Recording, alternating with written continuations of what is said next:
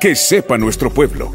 Arena condiciona sus votos para aprobar préstamos destinados al bienestar del pueblo. Son fondos para la compra de incubadoras para recién nacidos, equipos para operar a pacientes con problemas de corazón y para tratar enfermos con insuficiencia renal crónica en etapa terminal.